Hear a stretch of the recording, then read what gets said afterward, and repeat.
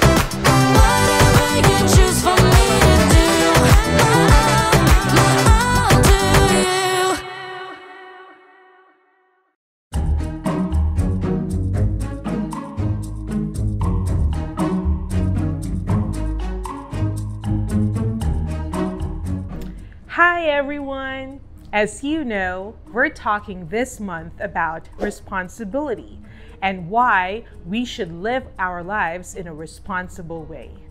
Today, we'll look at some verses from the book of Proverbs. This book is full of wise sayings that can help us make great choices in our everyday lives. Many of these wise sayings come from a king named Solomon. Solomon became king when he was still very young. One night, God spoke to Solomon in a dream and told him that he could ask for anything he wanted. Can you guess what Solomon asked for? He asked for wisdom so he could lead God's people well. And you know what? God gave Solomon the wisdom he asked for. In Proverbs chapter 6, Solomon shared what he had seen while watching a very specific animal. This wasn't a kind of pet, but a kind of insect. Listen to this. You people who don't want to work, think about the ant. Consider its ways and be wise. It has no commander, it has no leader or ruler, but it stores up its food in summer. It gathers its food at harvest time. Okay, Solomon explained here that there's a lot that we can learn from an ant. Why? Because ants know how to work hard. Solomon said we should pay attention to the way ants work because we were created to work hard too. God made us to do good work and to do our very best at it. When God first created the world and the first people, Adam and Eve, God gave them an incredible job. God told them to take care of the world around them. And of course, Jesus told us exactly what our biggest responsibility should be if we want to follow Him and live His way. We need to love God and to love others. But here's the thing sometimes it can be hard to do that. It doesn't just happen, it takes a lot of hard work, effort, and dedication. Listen again to what Solomon said about the ant. It has no commander, it has no leader or ruler, but it stores up its food in summer. It gathers its food at harvest time. Ants don't wait for someone to tell them what to do.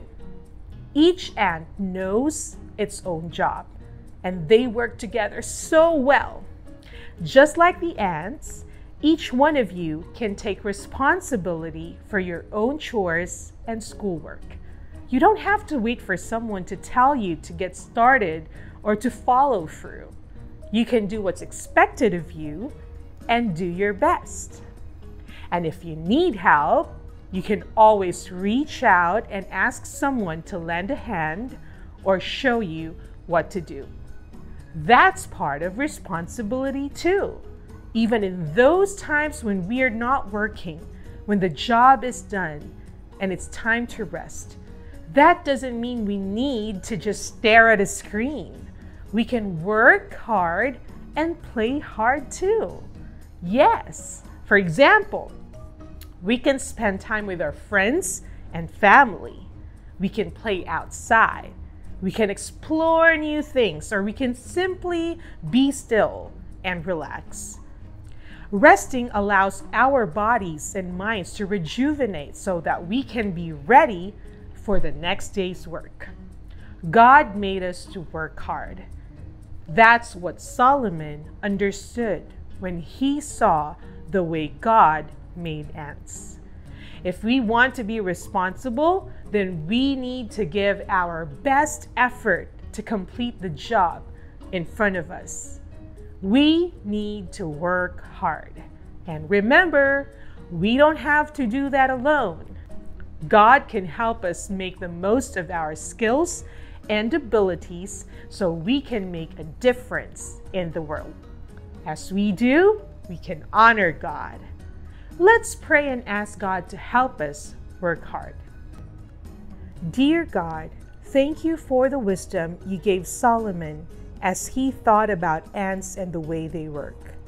Thank you for designing us to work hard and use our talents to make a difference. Help us remember to work hard in everything we do and guide us in taking responsibility and finding the right balance between work and rest. Show us how we can honor you with the work we do. We love you and we pray these things in the name of Jesus, amen. It's pop quiz time. I'll ask you some questions and you can shout out loud the correct answer based on the Bible story you just heard. Are you ready? Question number one Who was the wise king in today's Bible story? Was it King Solomon? Was it King Salmon? Or was it King Salaman? That's right, the wise king in today's story was named King Solomon. Question number two. Today we learned from an animal. What animal was it? Was it an ant? Was it an antelope? Or was it an anteater? You got it. The animal we learned from today was an ant. Last question What did we learn from the ant? Did we learn to be wise? Did we learn to smile more? Or did we learn to work hard? Yes, we learned to work hard. You all did it. Thanks for playing Pop Quiz with me.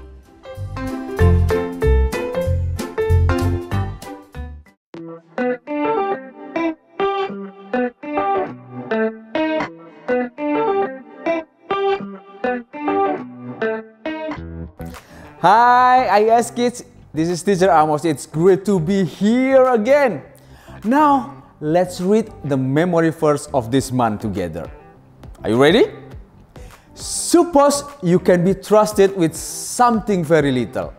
Then you can also be trusted with something very large. Luke 16, verse 10a. That's great. Let's read it together one more time. Suppose you can be trusted with something very little, then you can also be trusted with something very large.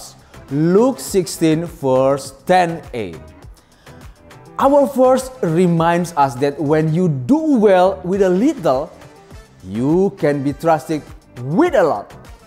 If you take care of your stuff now, you might be trusted with more of different things later. Take responsibility and go further than your adult expect. If you are supposed to fold your own laundry, fold it. And the towels also. If you are in a charge of your pet's food, feed them and walk them. Do more than is expected without being asked. It's hard work, but God made us to work hard. We don't need to spend time avoiding work. It's better if we spend time showing that we can be trusted with the responsibility of caring for the people in our life and the world around us. So remember this, IES kids.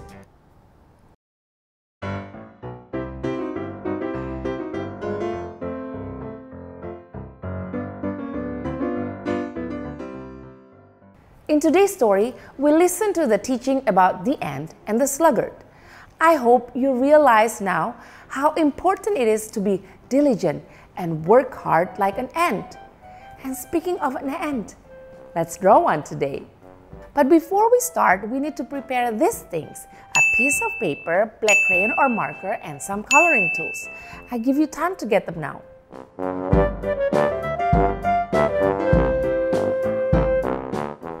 Did you get everything you need?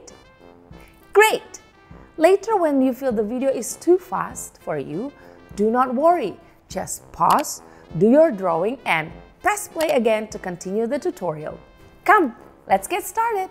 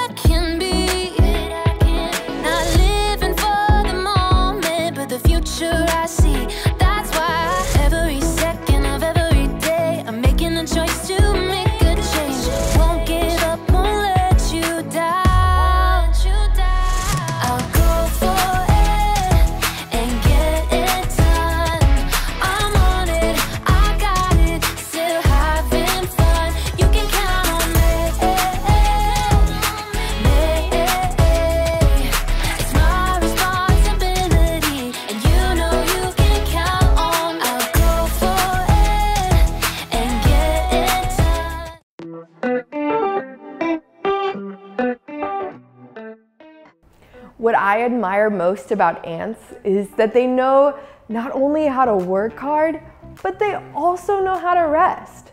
In order for us to give our best in all different areas of work, we need to be responsible by resting and taking care of ourselves too. That way, we have more energy to give when it's time to work. What are some ways we can truly rest well?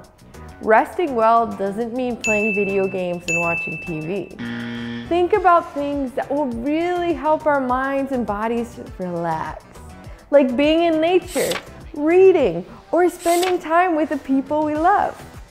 Let's be sure to find time to rest so we can show up at our best when we do need to work hard. Have a great week, IES kids!